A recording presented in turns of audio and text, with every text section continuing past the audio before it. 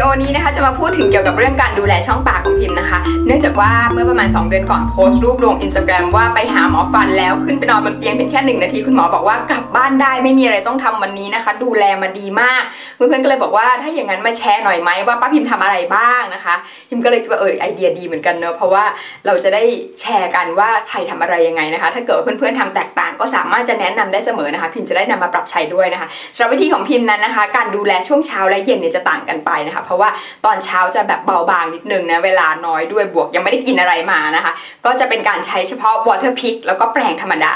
สำหรับตอนเย็นต้องเข้มข้นนิดนึงเพราะระหว่างวันผ่านสมรภูมิมาเยอะนะคะ ทานมาไม่รู้กี่มื้อนะคะทั้งมื้อและสแน็คและขนมอะไรอย่างนี้ตลอดเวลานะคะ เพราะฉะนั้นตอนเย็นเนี่ยนะคะจะเริ่มต้นด้วยการใช้พวก dental floss ก่อนนะคะ หลายๆคนอาจจะเคยเห็น ประเภทที่เป็นเป็นผลิตภัณฑ์หน้าตาแบบนี้ในซูเปอร์มาร์เก็ตอยู่แล้วนะคะ ปกติแล้วเนี่ยจะมาในลักษณะของแผงแล้วก็แขวนไว้นะคะ แขวนเรียงเรียงเรียงกันไว้ โดยที่ dental floss เนี่ยนะคะสำหรับตัวพิมพ์แล้วเนี่ยเวลาพิมพ์มองเนี่ยพิมก็จะแยกเป็น2อสแบบ แบบแรกนะคะ คือแบบที่เขาเรียกว่าเป็นเนื้อเทป เนื้อเทปเนี่ยจะมีหน้าตาแบบอะไรคล้าย ๆแบบนี้เหมือนสกอตเทปเลยค่ะ คือถ้าคุณมองที่ด้านขวางเนี่ย มันจะดูเหมือนเป็นเส้นหนาๆ แต่จริงๆแล้วมันเป็นบางๆ มันมีความบางแบบนี้นะคะ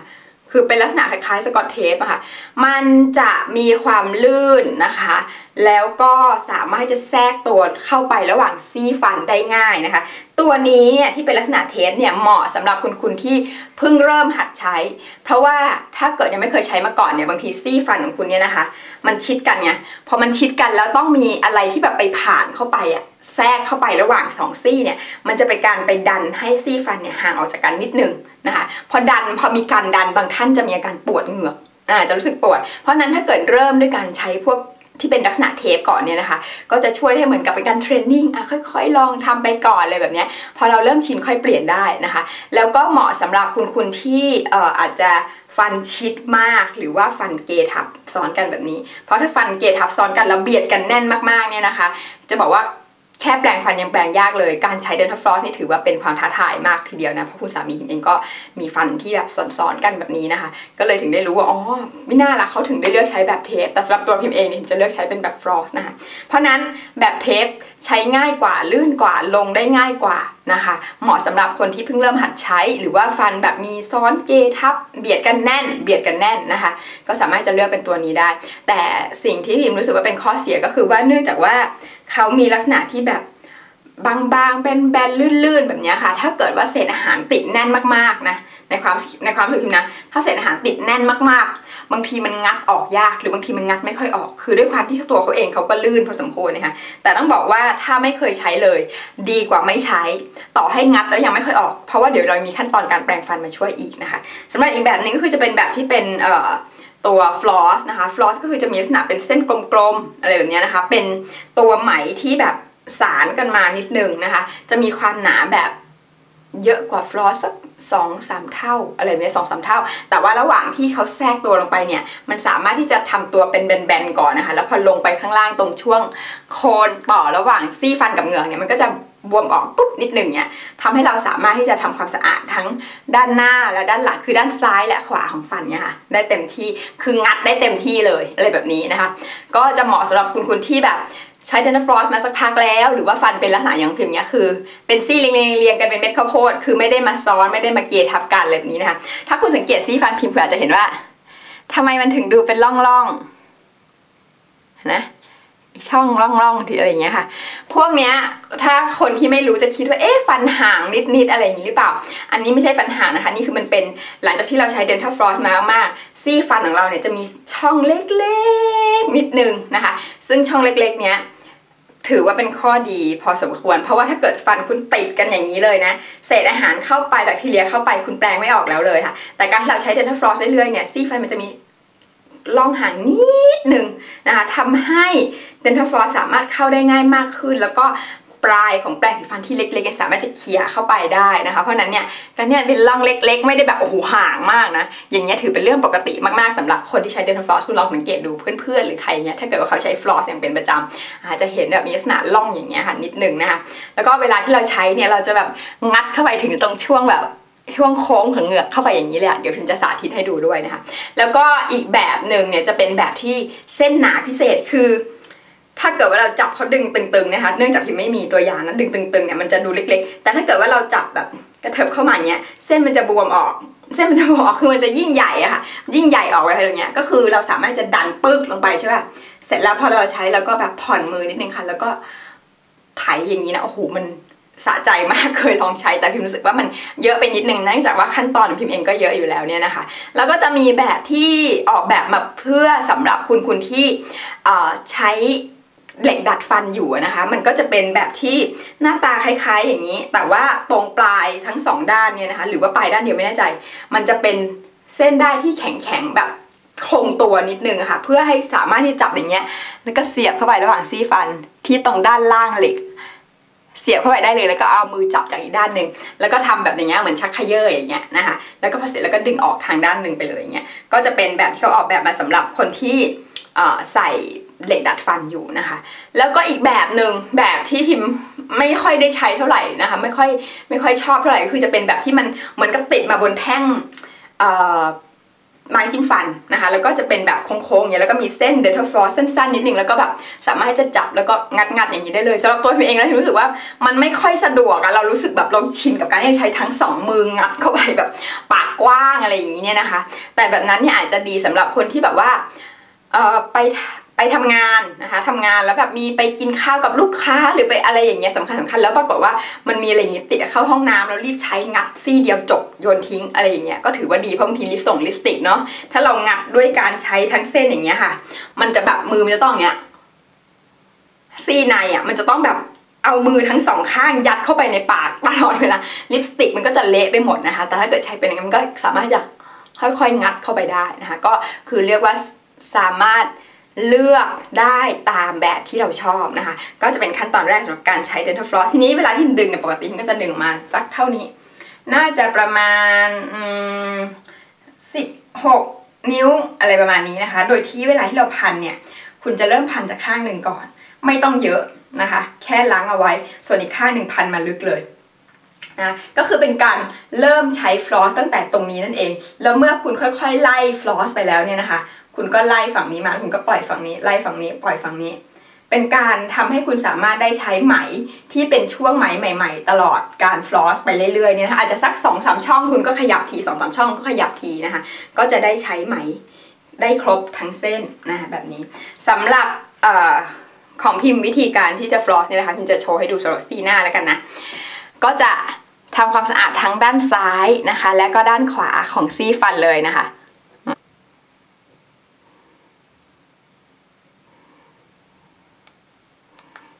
ประมาณนี้นะคะ ก็คือจะค่อยๆขัดเข้าไปทีละซี่ทีละซี่นะคะ แต่ละหนึ่งช่องเนี่ยคุณต้องขัดทั้งซี่ด้านซ้ายและซี่ด้านขวา แล้วก็สามารถจะเข้าไปลึกถึงตรงช่วงต่อเหงือกอย่างนี้ได้เลยนะคะ คุณหมอที่พิมพ์แบบไปหาเขาเป็นครั้งแรกเพราะบางทีเราไปตรวจฟันที่โรงพยาบาลไปพร้อมกับแพ็กเกจตรวจสุขภาพอะไรอย่างเงี้ยค่ะคุณหมอบางท่านที่แบบไม่เคยรู้จักกันมาก่อนเนี่ยเขาบอกว่า ถ้าคุณยังไม่เคยฟลอสให้ฟลอสเวลาฟลอสครั้งแรกๆช่วงแรกๆเนี่ยฟลอสแบบให้ตัวเส้นฟลอสเนี่ยกระแทกไปแล้วก็แบบดึงจน คือแบบเข้าไปตรงเนี้ยค่ะ บางทีถ้ามันมีเลือดซิบอะไรวะบ้างเนี้ยหมอบอกว่านั่นเป็นเรื่องปกติธรรมดานะคะ แต่พิมก็อยากจะแนะนำว่าคุณลองปรึกษาทันตแพทย์ที่คุณไปพบเป็นประจำจะดีที่สุดนะคะ เพราะว่าเขาอาจจะรู้ว่าโครงสร้างช่องปากคุณเป็นอย่างไรนะคะ นั่นก็จะเป็นขั้นตอนแรกของพิมพิมก็จะใช้เจ้าตัว dental floss ก่อนนะคะสำหรับขั้นตอนที่ 2 จะใช้เป็นตัว water pick เนี่ยบอกว่าอันนี้เนี่ยใช้มาประมาณ 4-5 ปีแล้วนะคะสำหรับเจ้าตัวนี้ แล้วก็มันจะเป็นตัวที่ติดอยู่กับ ก๊อกน้ำที่อ่างล้างหน้าในห้องน้ำมันจะมีฟังก์ชันเหมือนคล้ายๆกันกับเครื่องกรองน้ำที่ติดอยู่ที่อ่าง ล้างจานในห้องครัวค่ะ คือจะมีหัวด้านหนึ่งที่ติดอยู่กับตรงหัวก๊อกเลย แล้วก็มีสวิชเล็ก ๆ เปิดปิดอย่างเงี้ยค่ะ ถ้าเรามันปิดอยู่ เวลาเราเปิดก๊อกน้ำน้ำก็จะไหลลงก๊อกตามปกติ แต่ถ้าเราเปิดใช่ไหมคะ พอเราเปิดปุ๊บเนี่ยน้ำมันก็จะมาไหลออกทางนี้แทนนะคะ โดยที่หน้าตาของอุปกรณ์ชิ้นนี้มันเป็นแบบนี้นี่เองนะคะ พิมพ์เรียกเขาว่า water pick เพราะ water pick เนี่ยจริงๆ แล้วมันเป็นชื่อทางการค้าเหมือนเราเรียกแฟบ แทนที่เราจะเรียก breeze หรือว่าเปาอะไรแบบนี้เนี่ยนะ อันนี้เนี่ยมันมีชื่อยี่ห้อของเขานะคะ ชื่อว่า Gracia Floss เดี๋ยวพิมจะเอาอันใหม่มาให้ดูด้วยนะ พิมแบบประเภท ซื้อสแปร์เก็บเอาไว้นะคะ หน้าตาแบบนี้ไม่มีอะไรเลย มันแค่ต่อเนี่ยค่ะเป็นท่อน้ำที่มาจากก๊อกน้ำนะคะ ตรงอ่างล้างหน้าของพิมแล้วก็มาต่อนี้แล้วถึงเวลาพอเปิดมาเนี่ยค่ะคุณสังเกตว่าหัวมันจะเล็กๆแบบนี้นะคะ เพราะฉะนั้นกลไกการทำงานมันก็คือ ไม่ได้ต้องเสียบปลั๊กด้วยนะ ก็คือเมื่อเราเปิดน้ำปุ๊บเนี่ยค่ะ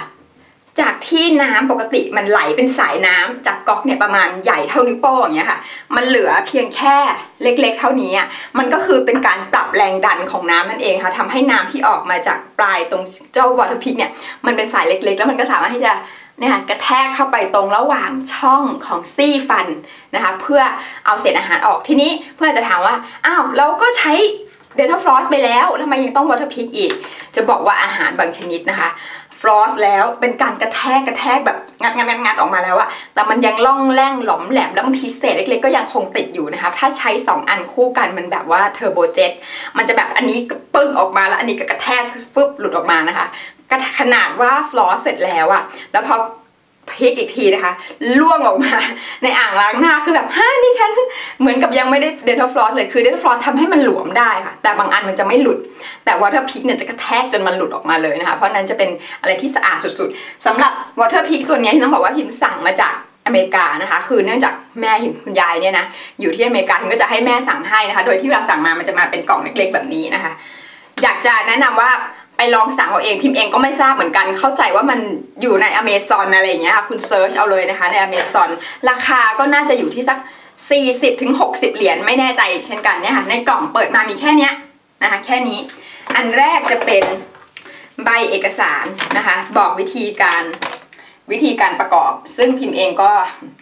ทำไม่เป็นเหมือนกันพิมพ์ยังไม่แน่ใจจำไม่ได้เลยว่าไอตอนติดตั้งอันนี้ที่อยู่ตรงอ่างล้างหน้าพิมพ์นี่ใครติดให้นะคะแล้วก็ตัว เครื่องนะคะเนี่ยจะเป็นหน้าตาแบบนี้ มันก็ไม่ได้เป็นเครื่องซะทีเดียวแค่อุปกรณ์ชิ้นหนึ่งไม่ได้มีปลั๊กเปิกอะไรต้องเสียบนะคะ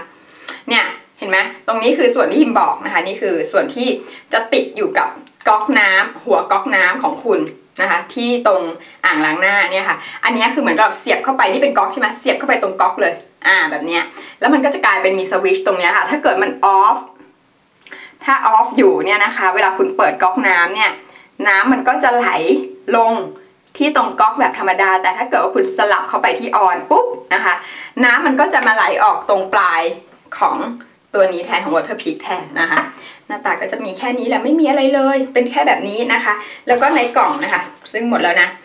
มีก็คือจะมีตัวนี้แล้วก็มีอุปกรณ์นี้มาให้นะคะ ก็คือจะมีเป็นหัว water peak 2อันนะคะ เป็นสแปร์เผื่อหักเผื่อตกอะไรแบบนี้ แล้วก็มีวงแหวนเผื่อว่า เจ้าตัวก๊อกน้ำของคุณเนี่ยนะคะ มันไม่สามารถเสียบได้พอดีกับอันนี้เขาก็จะมีวงแหวนมาให้เป็นเหมือนกับตัวต่อเชื่อมอะไรประมาณนี้เนี่ยนะคะ คุณก็อาจจะให้คุณผู้ชายที่บ้านที่แบบว่ามีความสามารถในการที่จะทำอะไรพวกนี้นะคะ มาลองทำให้สำหรับยี่ห้อที่พิมใช้นะคะ ชื่อว่า Glacier Floss นะคะ แนะนำว่าลองเซิร์ชดูเลยแล้วก็หาดูใน Amazon หรือว่าจะ Google หาหรือว่าหาซื้อตาม ร้านที่คุณรู้จักถ้าเกิดว่าคุณอยู่ที่อเมริกานะคะ เพราะว่านี้พิมมั่นใจว่าไม่มีขายที่เมืองไทยนะ Glacier Floss นะคะ เห็นนะ Glacier Floss นะคะนั่นแหละพิมเองก็ซื้อมาตุนเอาไว้หนึ่งอัน เพราะอย่างที่บอกคือเราไม่รู้อะบางทีใช้ใช้อยู่มันเกิดจะแบบจุ้งไป พิมเองก็ทนไม่ไหวที่จะแบบไม่มีใช้นะคะ เพราะว่าติดเดินเจ้าตัว Waterpik มันดีมาก เนื่องจากว่ามันสามารถใช้ระหว่างวันก็ได้ด้วยนะคะ บางทีแบบทานข้าวที่บ้านอย่างเงี้ยนั่งนั่งทานอยู่ ผักบุ้งติดอะไรอย่างเงี้ยมันจะรำคาญมากมันจะรู้สึกเหมือนกับเอาต้องเอาลิ้นดุนตลอดเวลามันไม่ออกนะคะ มานี่เลย ถ้าเกิดว่ามันติดหนักมากก็ floss ปึ๊กหนึ่งนะคะ แล้วก็เอาเจ้า Waterpik เนี่ยดันออกมาพิมจะใช้ให้ดูนิดนึงนะคะ คือจริงๆแล้วมันง่ายมากตอนนี้เนี่ย มันก็ต่อตรงนี้อยู่แล้วนะคะพิมเปิดมาตรงออนนะคะ พิมจะพ่นให้ดูนะ เอาไงดี พ่นใส่แก้วแล้วกันนะ นี่นะคะว่าเวลาที่เปิดนี่แก้วนะ จะให้เห็นเฉยๆนะคะ ว่าน้ำมันออกมาลักษณะแบบไหน โอ้ยแรงมากเนี่ยค่ะ เห็นไหมถึงเวลาที่คุณพ่นเข้าไปนะคะ มันก็จะพ่นไปที่ระหว่างที่ระหว่างซี่ฟัน เต็มหน้าเลยนะคะ ก็จะพ่นไปที่ระหว่างซี่ฟันคือมันแรงขนาดนี้ค่ะ แรงแบบแรงมาก เพราะฉะนั้น อะไรที่มันติดติดอยู่เนี่ยนะคะ มันจะกระเด็นหลุดออกมาหมดเลยคุณสามารถจะแล้วมันอ่อนโยนนะคือเห็นน้ำแรงแบบนี้ไม่ได้หมายความว่าหูพอโดนเหงือกแล้วมันจะแบบเหงือกทะลุอะไรอย่างนี้ไม่ถึงขนาดนั้นนะคะ คือมันแรงระดับหนึ่งแต่มันไม่ได้แรงขนาดที่แบบทะลุทะลวงอะไรขนาดนั้นนะก็เนี่ยนะคะจะเป็นขั้นตอนที่ 2 ก็คือพอ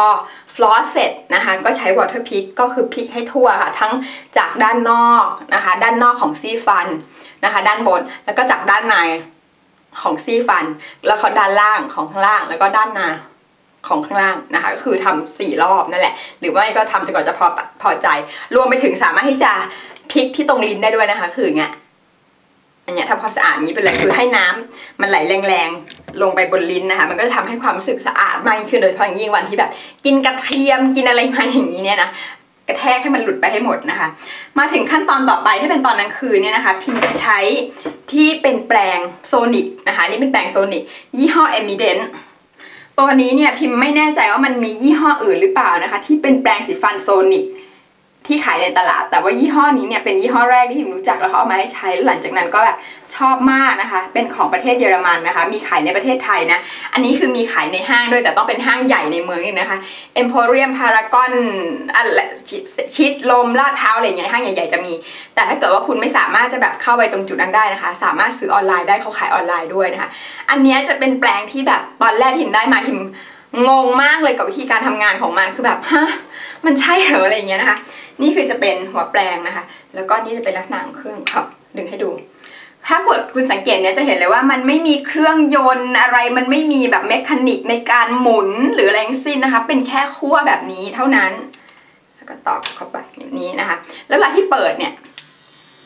นี่ค่ะหัวแปลงนี่คือทำงานอยู่นะคะ สังเกตว่ามันไม่ได้ขยับขยื่นมันไม่ได้หมุนซ้ายหมุนขวา หรือสะบัดซ้ายขวาทั้งสิ้น คือมันอยู่ของมันเฉยๆ แค่มีเสียงอื้ออยู่ตรงนี้ให้เรารู้ว่ามันทำงานอยู่นะคะ คือเขาบอกว่าไอ้เจ้าเสียงอื้อๆเนี่ยเขาเพิ่มขึ้นมา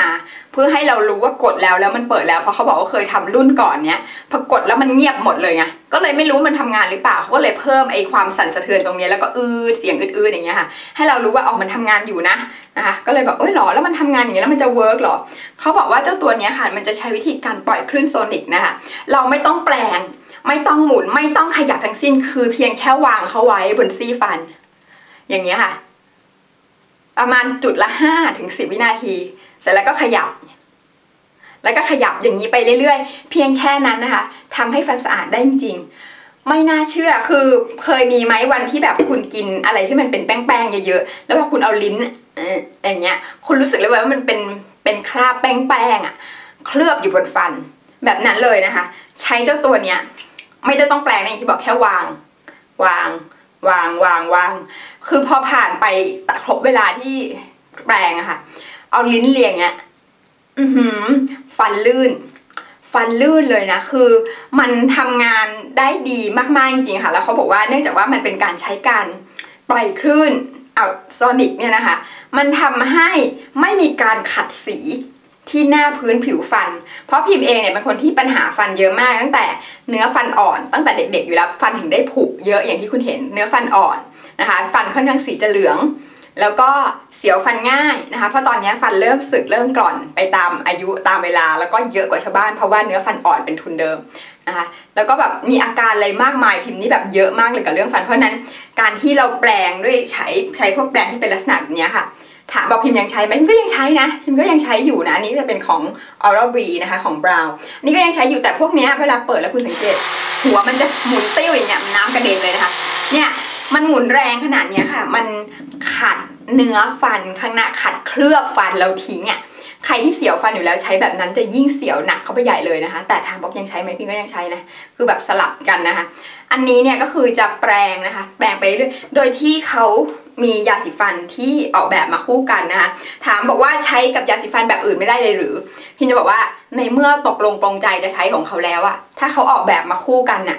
ก็ใช้ของเขาเถอะอะไรแบบนี้นะคะ มันน่าจะได้ผลที่ดีกว่านะ เห็นไหมอันนี้จะเป็นเนี่ยเขาบอกเลยเป็น 100% Ultra Sound นะคะ เป็นตัวที่ออกมาคู่กันโดยเฉพาะระบุเลยนะคะเขาก็จะมีกลิ่นเฟรชกลิ่นอะไรแบบนี้นะคะ แล้วก็ 1 หลอดเนี่ยน่าจะราคาอยู่สักประมาณ 300 บาท แต่นี่ผมก็ใช้มานานพอสมควรแล้วนะ เพราะเวลาใช้เนี่ยนะคะ ใช้ไม่ได้ต้องเยอะ ก็คือคุณบีบ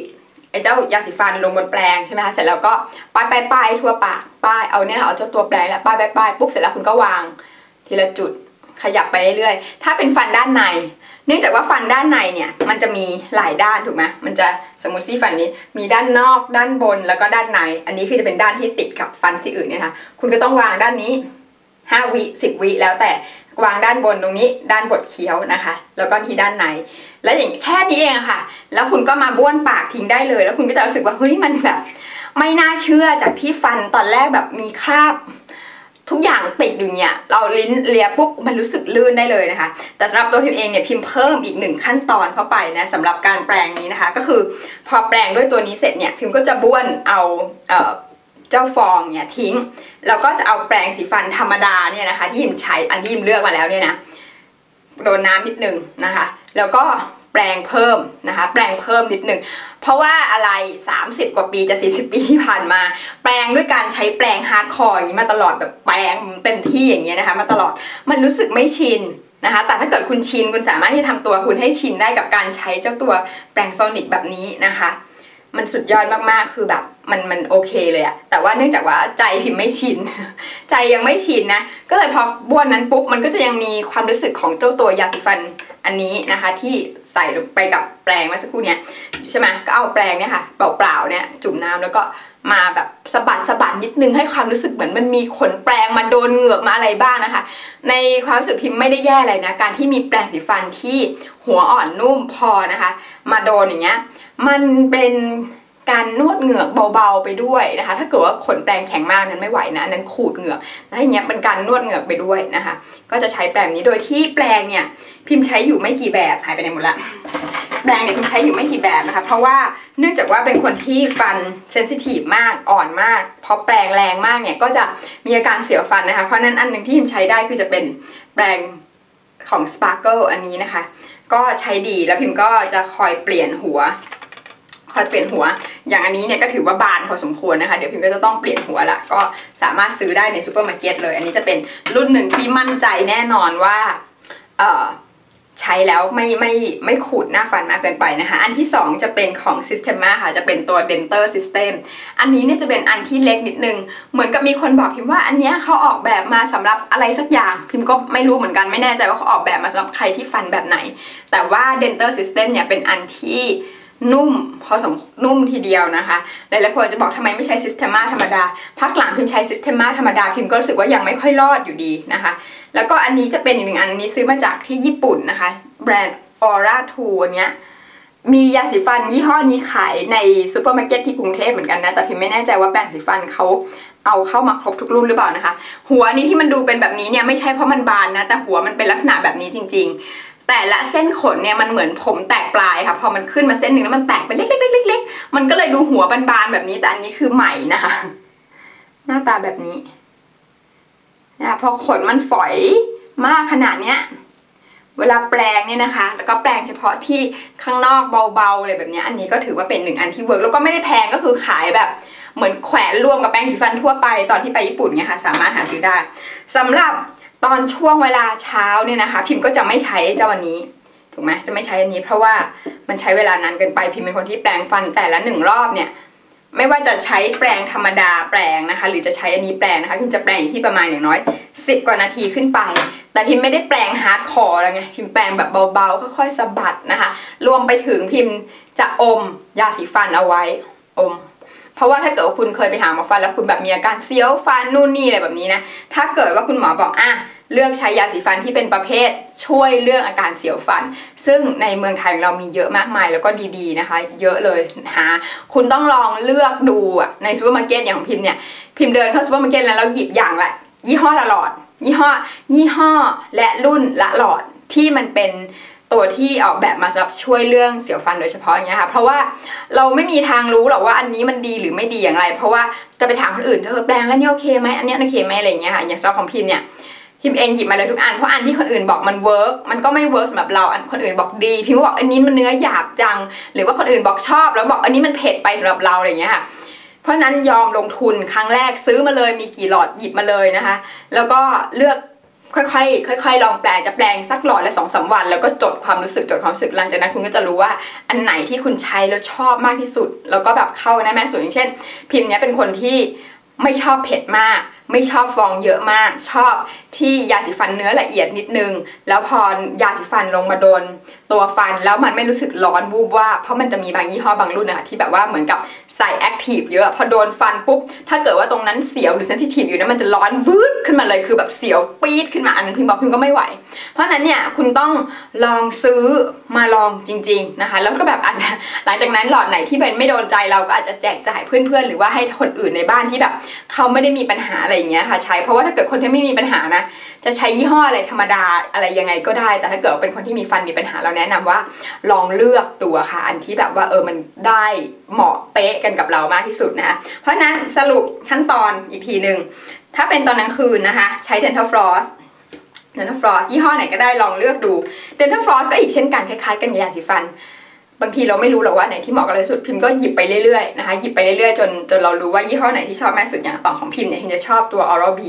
Oral-B Satin Floss Satin Tape อะไรก็ได้ซื้อมาวางวางเอาไว้นะคะ แล้วก็ใช้ก็เหมือนแชมพูอะเนาะหลายๆคนก็มีแชมพู 3 4 ขวด 5 ขวดวางในห้องน้ำคืนนี้อยากสระกลิ่นนี้คืนนี้อยากสระยี่ห้อนี้ก็เหมือนกัน Dental Floss นะคะ floss เสร็จตามด้วย Water Pick Water Pick นะคะ ยี่ห้อ ยี่ห้อ Glacier Floss นะคะ Glacier Floss เนี่ยใช้มานาน แล้วก็ค่อยตามด้วยการแปรงถ้าเกิดว่าเป็นคืนที่มีเวลามากคือจะใช้ตัวตัวแปรงโซนิกก่อนนะคะ แล้วค่อยตามด้วยแปรงสีฟันธรรมดา แต่ถ้าวันไหนที่แบบอ๋อขี้เกียจอะไรอย่างนี้นะก็จะข้ามขั้นตอนโซนิกไปนะคะ เราใช้แปรงธรรมดาแปรงแต่อย่างที่บอกไม่ว่าจะใช้แปรงโซนิกหรือแปรงธรรมดา พิมพ์แปรงประมาณ 15 นาทีอัพอะคือแบบเดินว่อนทั่วบ้านพิมพ์เป็นประเภทแปรงแล้วก็อม ถึงได้ไม่ชอบ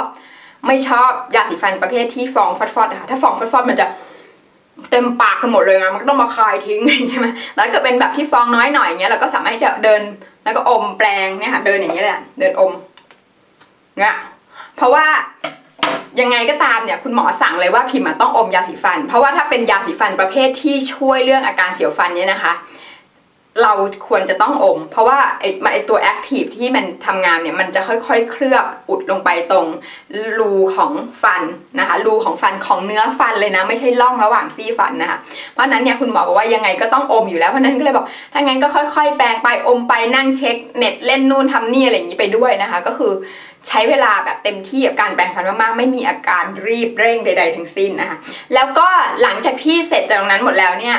บางครั้งอะค่ะ เนื่องจากว่าเราไม่เคยชินกับการใช้แบบนี้ หรือแม้กระทั่งการแปลงด้วยการใช้แปลงแบบนี้เนี่ย ในบางครั้งอะคุณก็ต้องยอมรับว่า เพราะว่าเราใช้แปลงที่ขนเนื้ออ่อนมากๆ นุ่มมากๆ เพื่อเป็นการถนอมเอเคลือบฟันแล้วก็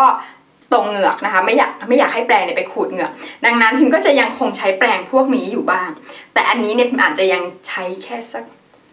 สามหรือสี่สัปดาห์หนึ่งครั้งเท่านั้นนะคะ คือแบบว่า เหมือนกับมาตะลุยรอบนึงอะแบบ เปิดเลยแล้วก็แบบกืดกืดกืดกืดกืดเสร็จจบ คือเพราะว่ายังไงก็ตามอันนี้ค่ะมันมีความสามารถในการที่จะแบบว่าขัดด้านนอกไง เพราะบางทีเราแปลงเองเนี่ยนะคะ พอแปลงที่เราใช้เนี่ยมันแบบอ่อนบางอะ่ะ มันจะรู้สึกแบบต่อให้มันลื่นแล้ว แต่บางทีตรงระหว่างซอกหรืออะไรเงี้ยนิดนึงนะคะ ก็คือ จิตยังไม่ค่อยจิตยังรับไม่ค่อยได้ว่าเอ้ยใช่แค่นั้นแล้วมันพออะไรเงี้ยในในเมื่อมีอุปกรณ์ครบถ้วนก็จัดเต็มไปเลยนะคะ แล้วก็สำหรับช่วงกลางคืนเนี่ยเนื่องจากว่าพิมเป็นคนที่ฟันเนื้ออ่อนนิดนึงแล้วก็หมอบอกว่าไม่แน่ใจว่าจะนอนกัดฟันเองหรือเปล่าทำให้การสึกของฟันเนี่ยมันไปเร็วนะคะ พิมก็จะต้องใส่พวกที่มันเป็นแบบ เมาส์การ์ดแบบนี้ ซึ่งอันนี้เนี่ยทำมาเพื่อเราโดยเฉพาะนะคะ คือต้องมีการพิมพ์ปากพิมพ์ฟัน แล้วก็ใส่ใส่แค่ข้างบนอย่างเดียวนะคะ เพราะว่าแค่นี้มันฟันล่างเราก็จะมากัดกับตรงด้านล่างนี้ พิมพ์ทำที่คลินิกที่พิมพ์ทำเนี่ยสึกจะสี่พันสี่พันกว่าบาทเลยแบบนี้เนี่ยนะคะ อันนึงอันนี้มันออกจะแบบดูเหมือนเหลืองแล้วนะ เพราะว่ามันใช้มาสักพักนึงนะคะเวลาใส่ก็มันจะพอดีเป๊ะเลยนะ แต่ฟันมันจะรู้สึกใหญ่ๆขึ้นนะนะคะ ก็จะไม่ใส่ออกนอกบ้านนะ ใส่เฉพาะตอนนอนเท่านั้น เพราะระหว่างวันนี่ยเราก็คงแบบไม่นั่งแบบ นั่งกัดฟันตัวเองนะคะ นั่งถูไปถูมาเฉพาะตอนกลางคืนที่แบบเราไม่รู้ตัวบางคนแบบกัดฟันกลืดกลืดอย่างเงี้ยนะคะ มันจะทำให้ฟันเนี่ยสึกเร็วมากยิ่งขึ้นนะคะนะก็ประมาณนี้เนาะน่าจะครบเนาะจาตินฟลอสเรียบร้อยเกรเซียนะลองดูหนึ่งสิ่งเลยที่แบบอยากจะแนะนำก็คือเจ้าตัวนี้นี่แหละไอ้เจ้าเกรเซียอันนี้นะคะ แต่ว่าอย่างที่บอกคือพิมเองก็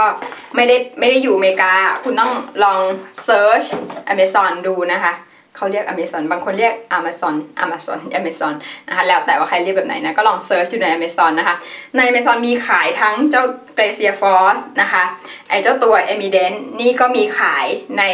Amazon เหมือนกันพิม search แล้วรวมไปถึงตัวยาสีฟันนะคะเพราะฉะนั้นถ้าเกิดว่าคุณอยู่ต่างประเทศคุณก็สามารถที่จะแบบหาซื้อมาใช้ได้แน่นอนไม่ได้ลำบากอะไรนะคะถ้าเกิดว่าเป็นอย่างของ Braun เนี่ยอันนี้มีขาย ทุกที่นะคะ ไปตรงไหนก็มีนะคะ จะเป็นรุ่นเล็กรุ่นใหญ่รุ่นกลางอะไรได้หมด โดยส่วนตัวเราคิดว่าสำหรับพวกปลงที่เป็นลักษณะแบบนี้ค่ะ ถ้าเกิดว่าคุณไม่ได้ไม่ได้คิดมากอะไรอย่างตอนพิมพ์ซื้อเนี่ยเนื่องจากตอนนั้นพิมพ์เองก็ยังไม่ค่อยมีความรู้มากมายเท่าไหร่นัก แล้วก็เป็นประเภทแบบ รู้สึกว่านะคะรู้สึกไปว่า เอ้ย ถ้าเกิดเรามีตังจะสามารถที่จะจ่ายรุ่นที่มันท็อปสุดได้ก็ซื้อไปเลยละกันอย่างอันนี้เนี่ยจ่ายไปตั้ง5,000 กว่าบาท 5,000 6,000 บาทนะคะแต่เนื่องจากว่าตอนนั้นเนี่ยพี่มีประเด็นกับช่วงไหล ตอนนี้ก็ยังมีนะคะเนื่องจากว่าไหลไม่ดีเจ็บมาก การแปลงฟันแต่ละครั้งเนี่ยค่ะถ้าเกิดว่าคุณไม่เคยเจ็บอะไรตรงนี้มาก่อนคุณจะไม่รู้หรอกว่า การแปลงฟันแต่ละครั้งมันใช้กล้ามเนื้อตรงนี้เยอะมากแค่ไหน การจะพลิกแต่ละครั้งเนี่ยแค่บิดตรงนี้มันปี๊ดมาถึงจี๊ดมาถึงตรงนี้เลยเนี่ยนะคะพิมพ์ถึงได้โอเคยอมไปซื้อนี้เพราะว่าการใช้นี้เนี่ยมันทำให้พิมพ์แค่ ถือไว้เฉยๆใช่ไหมแล้วก็ขยับปื๊ดขยับเพราะว่ามันหมุนของมันเองค่ะมันก็จะลดอาการปวดตรงนี้ของพิมพ์ไปได้ แต่ว่าพอหลังจากที่ อาการตรงนี้มันเริ่มดีขึ้นแล้ว แล้วก็ฟันเริ่มแย่ลงนะก็เลยต้องเปลี่ยนแนวทางนะคะ จากการใช้ประเภทนี้ไปใช้เป็นแบบ sonic แทนซึ่งเจ้า sonic เนี่ยก็ดีกว่าซะอีก เพราะว่ามันก็แค่วางแล้วก็ขยับขยับขยับนี้เหมือนกัน แต่ว่ามันไม่ขัดหน้าฟันทิ้งด้วยซ้ำนะคะ ก็ลองดูเนาะของพวกนี้ขึ้นอยู่กับความต้องการแล้วก็ขึ้นอยู่กับสภาพของ ปากและฟันของคุณด้วยนะคะ คือพิมพ์เนี่ยปัญหาค่อนข้างเยอะพิมพ์ก็เลยต้องให้เวลากับเขาเยอะนิดนึงนะคะ อาจจะเอาลองไปปรับใช้ดูก็ได้ว่า จะน้อยจะมากจะลดจะเพิ่มอะไรยังไง บางคนก็พก floss ออกไปข้างนอกระหว่างวันชอบแปรงฟันระหว่างวันสำหรับพิมพ์เนี่ยพิมไม่ค่อยชอบนะพิมจะประเภทกลับมาถึงบ้านแล้วค่อยทำทีเดียวเลยประมาณนี้นะคะ ก็หวังว่าจะเป็นประโยชน์นะคะ แล้วก็ถ้ามี comment ความเห็นอื่นๆ หรือว่าแนวทางที่แตกต่างนะ ยินดีรับฟังเสมอนะคะ เขียนที่ comment box ด้านล่างได้เลยตัวพิมเองไม่ใช่ expert ไม่ใช่อะไรพิมแต่จะบอกว่าวิธีที่พิมทำตรงนี้เนี่ยณขณะนี้ work สำหรับพิมแล้วพิมก็กะว่าจะทำไปเรื่อยจนกว่า สภาพตรงนี้มันมีความเปลี่ยนแปลงไปพิมก็อาจจะต้องปรับอาจจะต้องหาอะไรอย่างอื่นมาใช้นะคะ แต่ว่าณตอนนี้เนี่ยการทำขั้นตอนแบบนี้ของพิมเนี่ยถือว่าเป็นขั้นตอนที่ work นะคะทำให้ ขั้นตอนการไปหาหมอฟันมันเป็นอะไรที่น่าภิรมย์มากยิ่งขึ้นนะคะ ก็ถ้ามีอะไรอย่างอื่นแนะนำแจ้งพิมได้เสมอค่ะ อย่าลืมนะคะที่ info box ด้านล่างพิมอ่านเสมอนะคะ ขอบคุณค่ะ แล้ววันนี้พิมต้องไปก่อนนะคะเพราะต้องไปแปลงฟันจริงๆแล้วค่ะบ๊ายบาย